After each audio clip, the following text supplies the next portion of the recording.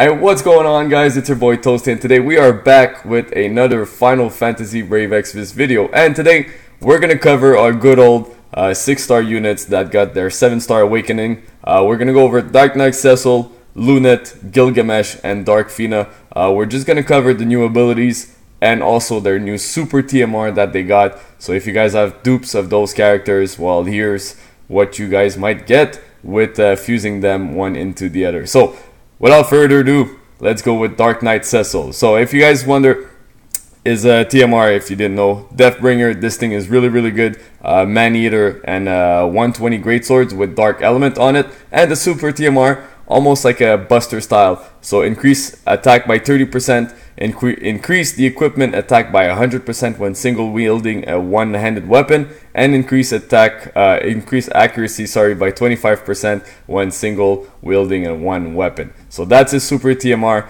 really good stuff, uh, pretty nice, especially with the increase in 30% on attack. That thing is really, really good. Since in the future, yes, we will get a cap of 400%. I did some research. We don't have that 400% cap yet, but we will get it in the future. So uh, let's go down and see his abilities that he got. We're gonna go over the first one. Uh, Omni Omnius Aura, recover HP and MP 50% to one ally, mitigate damage taken 50% for one turn to one ally. Uh, this is actually not bad, especially if you want to boost your tank or something's happening. Uh, one of your characters is uh, in deer net, deer help for um, help for something. Uh, this thing's actually not that bad, but coming from a big damage dealer, uh, I was kind of expecting something a little bit better and uh, maybe something to boost the attack or anything else like that. But still, nonetheless, pretty nice move is uh, Soul Over. So it's his uh, ability with a cooldown. So it's a 5 turn cooldown. You can do it on turn 1. Increase physical damage against humans by 100% for 3 turns to caster. Physical damage 13 times to one enemy. It's 99 MP. Uh, really nice. If you have Deathbringer on him, you get that extra 50% Man Eater. If you have Diablos, it's another 50% Man Eater. So he's at 200% right there with the, the Soul Over. And if you give him, let's say, Man Eater Plus, eh, you're gonna boost his damage by a lot. So that thing is really, really nice, especially if you're fighting human bosses. Uh, this thing is actually pretty, pretty cool. Just a lot of damage, but you gotta make sure that because he's a Dark Paladin, he's gonna use a lot of his HP to do some attacks. So make sure that you can heal up and uh, yeah, keep him alive. So we're gonna go over his traits. If you equip him with the Deathbringer, you're going to increase his attack by 20%. You're going to increase his equipment attack by 100% when single wielding a weapon. Increase accuracy by 25% when single wielding a one-handed weapon. And increase dark resistance by 25%. So if you give him his TMR and his super TMR, he's going to get a massive buff in attack. So 50% right there, plus another 200% in the double ends. Um, double end. If you give him another double end. The material is now at 250%. So things can go really, really high. You can get a lot of attack. So that thing looks really, really nice. Herald of Death.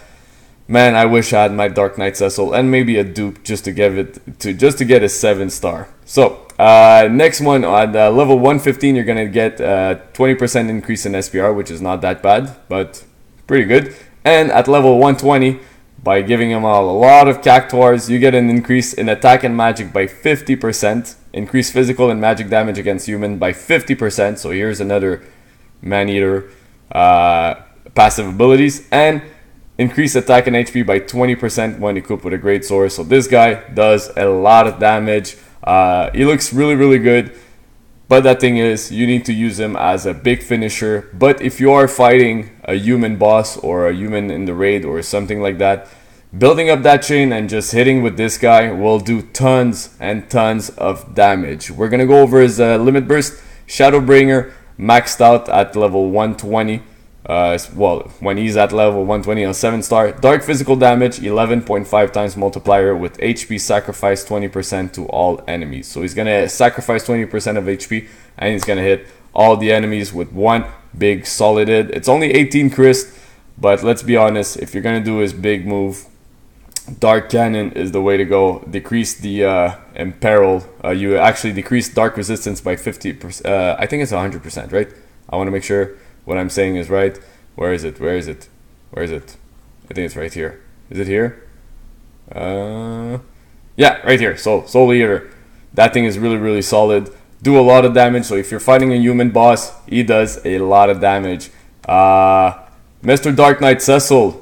Just because you look cool and badass, you get a thumbs up, my friend. Seven star looks really, really cool. Moving on to the next one. We're going to go right here. Mr. Luneth is making a comeback. So his TMR was really, really good. Celestial Gloves, attack 30, defense 30, magic 30, spirit 30. It's all raw stats. It's not percentage way uh, based. So that thing is really, really cool. Then you get Luneth's Clothes. That's his super TMR. Attack 45. It's a piece of clothing. Defense and spirit 1, which is okay. And let's see if I can get this right here. Yeah. Uh, Memories of the Wind. Basically increase uh, fire, water, wind, and earth resistance by 30%. So this thing is really, really solid just if you need to, uh, let's say, build your Basch or Awaken Rain uh, to make him more uh, resistance against uh, element-based attack. Luneth's Clothes is really, really good. Uh, that 45 attack is no joke. Plus, the increase in fire, water, wind, and earth resistance by 30% is really, really solid. Uh, of course, he has innate dual wield, which is really good for him. His new move that he gets at 7 star at level 105 Blade Torrent, physical damage 4 times, multiplier with consecutive use uh, increases three times. So you basically boost it up. Every time you use that move, you get an extra two two stacks of damage, up to 10 times max to one enemy. Uh, default attack, it's 54 MP. So on the first turn, you're gonna do four times the damage. Uh, uh, four time multiplier, sorry. On the second turn, six time multiplier. Third turn, eight, and fourth turn, 10 times multiplier on the damage. That thing is really, really cool. Then we get Shadow Sword, uh, Sword Shower, sorry, opposite. Uh, short Sour, uh, Short Sword Shower, so hard. At level 110, it's a 3 turn cooldown available on turn 3, so you have to wait 3 turns before you can use it. Physical damage combo 8 times, uh, 1.8 times multiplier on each hit to up to a 14.4 times multiplier to random enemies. If you are fighting a single unit, he's gonna hate. Uh, he's gonna hate it. He, first, he's gonna hate it for real, uh, and then he's gonna hit it a lot of times to do a lot of damage. But uh, the only thing is, you're gonna need a second Luneth friend to do the same thing. That's their kind of combo chaining move, where uh, if you're fighting one enemy, he's just gonna hit it the same time all the time, and that's how you're gonna build up that chain. But other than that, uh, pretty cool move. But the fact that he's only able to chain with himself kinds of uh, kinds of killed it a little bit. But the super TMR is really really solid. Uh, let's go over it straight. So the second you give him the Celestial Glove, Master Freelancer, increase HP attack defense by 20% and upgrade his limit burst. So we're gonna go over his limit burst after. Level 115, increase in SPR 20%. Uh, then level 120, Eternal Wind, increase equipment attack 30% when dual wielding. So that's pretty cool. Uh, so the second you give him dual wield, which is yes, he has in his kit by the way, uh, if you guys didn't know, uh, you boost his attack by 30%. So the equipment attack by 30%, it's almost like a true double N, but now it's a, we're gonna call it the true dual wield. That's the new thing that we're gonna get here on the, the 7 star meta and increase LB gauge 2 per turn, which is really, really cool. We're gonna go over the upgraded version of his, um, of his limit burst, sorry, Physical damage, 13.5 times multiplier to one enemy. It's a one hit move. Only 18 crist, which is really cool. Decreases defense by 74%, so he's like lightning uh, for three turns to one enemy. Then he decreases fire, water, wind, earth resistance by 74% for three turns to one enemy and recovers 100% of MP to himself, uh, which is really, really sweet. So his limit burst actually got really, really good. That 74% uh, debuff on uh, defense is really good. Plus, you're gonna imperil uh, four elements on uh, his limit burst, and it's only 18 crist. Yeah, I'll take that. So Luneth, you might be able to chain with yourself only, but your limit burst and your super TMR made yourself a lot better. So good job, Luneth. Keep going, and you're gonna kill a lot of people. Moving on to the next one, we're gonna go over Gilgamesh. Uh, what can I say about Gilgamesh? Nothing super special. His TMR was really good. The Genji glove gives you dual wield and attack and magic 10%. Is uh, super TMR, the Genji Helm, 45 on attack, defense and uh, defense 15, spirit 2, resistance to dark 30%, and paralyze, con uh, nullify, confuse, and petrify, so he resists all those three things, which is really really good, especially on your damage dealers. You want to be you want them to be able to not get status ailments or stuff like that. So Genji Helm, really really good. So if you have plenty of him, myself I'm only missing one to get that Genji Helm. But uh, if you do have a lot of him, go for it. His super TMR is actually really, really good, especially if you don't have uh, Prishe or Dragoon, a Toning Dragoon Cane. That 45 on attack for a helm is really, really good. Uh, we're going to move on to his uh, new abilities. So on turn, at level 105, sorry, on turn 1. Uh, so it's a 5 turn cooldown available on turn 1 gains access to the following ability for one time uh, for one turn fighting all of uh, fighting all four of you. So that's his first move. So he's gonna get a lot of things where he's gonna be able to just unlock a new ability and do stuff like that. Uh, then he gets at level 110, he's gonna get three moves: Secret Sword Art, Excalibur, fixed damage uh, one to one enemy, and decrease attack, defense, magic, and spirit 55% for three turns to one enemy. It's a seven hit move. Uh, not that bad actually. So you're going to be able to decrease uh, attack, defense, and magic and spirit by 55%. It's a really strong uh, break move, but it's you're only going to do one damage. But you're not there to do the damage. You're basically there just to break uh, your opponent. Then he's going to get Secret Sword Art uh, Kotetsu. Physical damage 5.5 to one enemy. Negates 2 physical damage taken for 3 turns to caster, which is an okay move. Then he's to get Secret Sword Art Naginata I know my Japanese getting really better. Uh, increase LB gauge 3 to 5 to all allies. That move's actually not that bad, especially if you're trying to build your LB gauge for a lot of your units, like let's say uh, CG Nicole, or uh, even, well, he's the breaker, but let's say CG Lid and you want to be, a, you want to do a strong break on uh, all the uh, all the stats. Uh, that thing's actually really, really good. Then moving on to the next one. This is where things get interesting because he gets a lot of things right here. Uh, so his traits, Level 101. So if you give him the Genji gloves, you're going to increase his uh, equipment attack by 30% when dual wielding, and you're going to upgrade his limit burst. So he's going to get the same thing as uh, what Luneth just before. Then at level 105, Secret Hero Art. Increase modifier on the following skill, Snow Petal and Tri Attack, and you get LB Gauge, uh, Christ 1. So you basically pop that LB Gauge by 1. Then he's going to get Collectors, uh, short swords, swords, and large sword. Increase fire resistance by 50% when equipped with a dagger, sword, or great sword. Increase physical and magic damage against beast by 75% when equipped with a dagger, sword, or great sword. So he's going to get a lot of uh, killer abilities in this kit. Then he's going to get collector katanas, increase ice resistance by 50% when equipped with a can- uh, katana, increase physical and magic damage against humans 75% when equipped with a katana. Uh, collector, staves, and rods. So the second you equip him with that, he's going to get increased wind resistance by 50%. Then he's going to get increased physical and magic damage against demons by 75%. Not that bad. Uh, then he's going to get bows and instrument, increase water resistance by 50%, increase physical and magic damage against undead 75%. Collector axes and hammer and maces, increase earth resistance by 50% and increase physical and magic damage against stone monsters by 75%. But wait, there's more. Collector of Spears. Increase light resistance by 50% and increase physical and magic damage against dragons by 75%. We got two more guys. Collector Whips and Fists. Increase lightning resistance by 50% when equipped with a whip or fist. Uh, increase physical and magic damage against mechanical monsters 75%.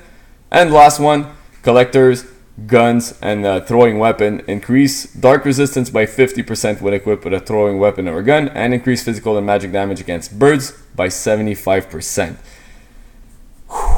So, if you're able to give him one of those things, and he could do a lot of damage, especially if you. Uh, we're gonna go over his limit burst because he gets a move where he's also able to chain with uh, the Orlandeau family uh, so if you do get one of those things, is killer passives are really really high. 75% is really really strong. Uh, he has a really good break. These things are looking really good. It just takes a little bit of time to build. That's the only problem with um, I was gonna call him Genji with Gilgamesh. It just takes a little bit of time to build because you don't get access to his uh, kind of divine ruination move right off the bat. So we're gonna go over his last thing, Genji Mastery. increase HP, MP, attack, defense, magic, and spirit 15% when equipped with a Genji blade, Genji glove, Genji shield, Genji helm, Genji armor, or Genji armor replica. So that thing is really good. You give him the Genji blade, bam, you get 15% on all stats. So that thing is really, really cool. Good job, Gilgamesh. You're getting a lot better. But let's go over his things. So fighting fighting all four of you, before I get it wrong again, increase defense by 300% for 3 turns to caster, enables access to the following ability. It's just too tough for me. So we're going to go over down, uh, increase SPR 300% for 1 turn. It's going to give you another one, not high, I lied. Then that's going to recover HP and MP 100% for uh, to caster, physical damage 15 times with jump delay. So he's going to jump up in the air. When he comes down, 15 times multiplier. Really strong move, uh, especially if you guys give him a spear or something and you're fighting a dragon. He could do a little bit more damage. Then he's gonna get Secret Sword uh, Art Excalibur, uh, Excalibur. So that's going to be activated by his uh, Gilgamesh transform. So the second you do his limit burst, this is what you're going to get access to. Light physical damage 7.8 times to one enemy. There you go, guys. That's the Orlandeau chain right here. 70, 77, all that stuff. I just want to make sure something here. Just want to make sure of something. Uh, yeah, it's this one right here. So, all right. So the second you do, I just want to make sure. Uh, the second you do the uh, Gilgamesh transform, so right here is um, limit burst. You're gonna get access for four turns to these things. You're gonna increase his attack, defense, magic, and SPR by 120% for five turns. Uh, it's good, but it's nothing crazy since CG Nicole, 134% on the limit burst, and him, he's only boosting himself up. Uh, you're gonna get access to all of these. So right here, uh, you can do Divine Ruination Chain. You're gonna get physical damage 4.5 times to all enemy, decreased resistance to all elements, 60% for three turns. It's really good. So that Imperil is really solid to all elements. Uh, dark hybrid damage after Secret of uh, Muramasa. Muramasa, yeah. Dark hybrid damage 15.2 times to one enemy. It's a 5 hit move. Then he's gonna get Zantetsuken. Instant KO, 35% chance, or dead physical damage. Uh, deal physical damage 6 times to all enemies. Uh, so, like I said, it takes a little bit of time to build. Uh, getting that limit burst up, it's 26 crystals, so it's gonna take a little bit of time. So, on the first turn, you're not going to be able to do a lot of things. His killer is uh, his passive and killer abilities are really really strong. Uh, he gets a lot of damage. You can build him up really fast, especially with Genji stuff. Uh, but the only thing is, he's just gonna take too long to build. And sometimes fight, yeah, they're good. Uh, his break is really solid, but you have other characters that can do break. They could do other things, support your team. And uh, for me, uh, he's a cool unit. But if they would have gave him the the chaining move uh, right off the bat, I think it would have been a better thing. But nonetheless, still interesting. You guys can use him. Uh, I'm sure he could do a lot of damage. This guy could do a lot of damage, but for me, uh, more chances of seeing him on your friends list is going to be really, really low. Uh, you're going to see a lot more Orlandeau 7 star, obviously, because you can use him right off the bat with Divine Ruination. Uh, eventually, even Lightning. Lightning is really solid. The fact that she can chain with Tidus now uh, is really good. Gilgamesh, you look really good, but uh, you're not gonna cut it for me. You still got my seven star. I still got you seven star because you look good, and uh, I want to start building up those seven star unit as fast as possible. So Gilgamesh, uh, good unit, but just takes a little bit too much time to build and to do damage. Moving on to the next one. Dark Fina, I know this video is taking a little bit longer. And by the way, if you are new to this channel and you find this video helpful, please leave a like down below. Leave some comments in the comment section. Tell me which one of you guys, uh, which one of you guys, which one of these units is the one that you're gonna awaken to seven star uh, the most you want to play with. Oh my god, that conversation went nowhere. Forget about what I just said. Let's move on to Dark Fina. Uh, we're gonna go over TMR, Dark Bond, so increase magic by 30% with equipped with a rob, uh, robe, and increase magic by 20% when equipped with a rod. So if you get a robe and a rod, uh, you basically get an increase in 50% on magic. Earth Super TMR is really solid. So it's a piece of a, it's a clot, uh, a cloth. This video is going for way too long. Uh, it's a robe, uh, defense 30, magic 72, Spirit 72 MP plus 30%. So the first three, it's all raw stats. Then she's gonna get resistance to sleep, paralyze, and she's gonna get auto refresh. Recovers 5 MP per turn. Uh, that super TMR is really strong. Uh, here's one thing: she takes light damage. Alright, so she's in peril 50% to light. So if you're fighting a boss that does light damage, maybe don't bring her, especially if you don't have an AOE magic cover tank. Uh, we're gonna go over her moves right here. So at level 105, 7 star, uh, 2 turn cooldown available on turn 2. Earth magic damage 8.5 times uh, multiplied to all enemy. Decrease earth resistance 60% for 3 turns to all allies. It's an 8 move, 8 hit move. Then she's gonna get Boreas Gale, 2 turn, cooldown available on turn 2. Wind magic damage 7.6 times to all enemies and decreases wind resistance by 60% for 3 turns to all allies. She's gonna have Flirt, Inflict Charm 20% for 1 turn to 1 enemy. Uh, you're not gonna be really able to charm the bosses, but still could be good in the arena. Then she's gonna she's gonna get Infer Wall, increase magic and SPR 100% for 3 turns to all allies, increase fire, wind, earth, and dark resistance 70% for 3 turns to all allies. So this buff right here is actually really really good. Uh, this is really good support, uh, especially that magic and SPR 100%. So on turn one, bam, you can do just do that and then start building up your stuff that you need. Then she's gonna have Lost Paradise. It's a 10 turn cooldown available on turn one, so it's almost like Seabreeze Dark Fina. She's gonna decrease dark resistance by 120% for 8 turns to all enemies. Auto revive 80% for 8 turns to caster, increase magic by 150% for 8 turns to caster, and refresh MP, uh, 180 MP split over 8 turns to the caster. So this thing is really, really good. If you're bringing, let's say, a Dark Knight Cecil and you're fighting a human and you have Deathbringer on him, uh, 120% Imperil on Dark, you're gonna do a lot of damage. So if you can combo uh, Dark Fina and Dark Knight Cecil, a lot of damage can be done on humans. Uh, so this move is actually really, really good, especially it's available on turn one. So uh, yeah, Lost Paradise, pretty solid. Then she's gonna get Occult Magic when you equip her with her own TMR. Increase magic by 50% and HP by 30%, increase dark resistance by 50%, and increase magic and SPR 30% when equipped with a whip.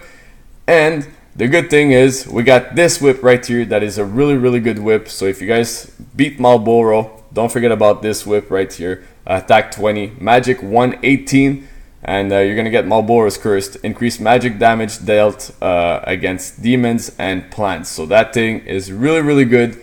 So you just equip her with that, bam, you get an extra 30% in magic and spirit with a good whip. Then at level 110, Rising Nemesis, chance to counter physical attack, 50% chance with uh, Rising Nemesis, decrease SPR 50% for 3 turns to all enemies, and decrease dark resistance 100% for 3 turns to all enemies. So that thing is really, really good. Her chance of countering is really high. Uh, so that thing is actually pretty nice. Then, at level 20, yes, she doesn't get Spirit 20%. She gets Increase in Magic 20%. So she's going to do even more magic damage. Then she's got uh, Demonic Nature, Increased Defense, and Spirit 25%.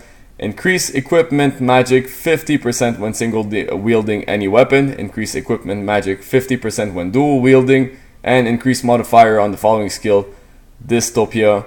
She's going to do a lot more damage with that move. Then we're going to go over the uh, magic she gets. And this is where she shines. This is where she comes, she comes back in the meta. Uh, a new tornado. She can chain with uh, Barbariccia. She can chain with Chantoro, with Lexa and even uh, Pure Summoner Kid Rydia. Then she has Quake, where she's going to be able to uh, chain with, uh, what's his name? William. So here's your chance. She can now chain with other characters. Uh, Ultima got a lot better. She has a lot of magic. The only thing that I wish she would have gotten also would have been Stonja and uh, Aeroja just to chain finish. But hey, we can't ask too much. Already this is really, really good. She has good support abilities for the, uh, the team and uh, her magic is going up really really fast so yeah and uh, we're gonna go over a limit burst L judgment maxed out to level 30 decreases ma uh, dark magic damage 5.25 with ignore SPR 50% to all enemies it's an 8 hit move only 18 MP uh, 18 crist so yeah that thing you're gonna get really fast but you're not there for this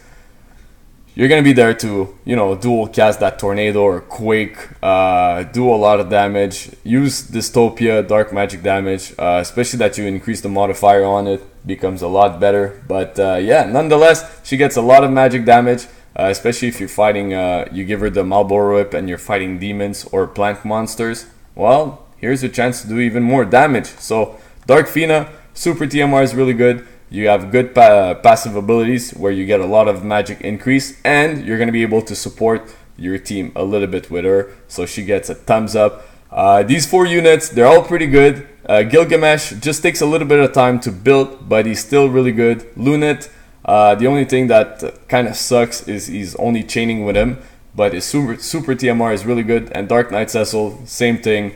Uh, just a strong finisher. So if you guys want to do a raid boss or something, you guys can bring him. He's gonna do a lot of da uh, dark damage, and uh, just getting that uh, imperil on dark is gonna be really strong, especially for fighting humans. If you're fighting humans, this guy is a real killer.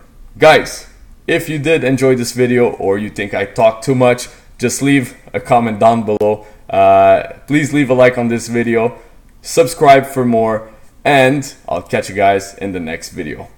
Peace.